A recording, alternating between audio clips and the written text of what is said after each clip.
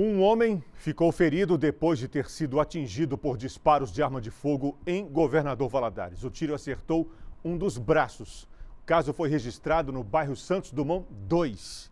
Ao vivo, a gente conversa com o repórter Sávio Scarabelli sobre essa ocorrência. Sávio, boa noite para você. Oi, Saulo, boa noite para você, boa noite para quem nos assiste. Esse caso foi registrado aqui em Governador Valadares, né? A Polícia Militar informou que esse homem é, passava por uma travessia de pedestres que fica entre os bairros Santos Dumont 2 e Floresta.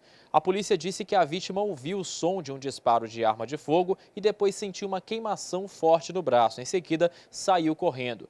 Momentos depois, o homem percebeu que havia sido baleado no braço. A vítima contou para a polícia que não possui atritos na região e que não conseguiu identificar de onde esse disparo de arma de fogo havia sido feito. Ele contou ainda que acredita que não era o verdadeiro alvo desse disparo de arma de fogo.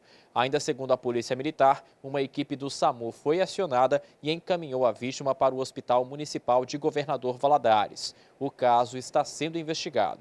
Eu volto com você, Saulo.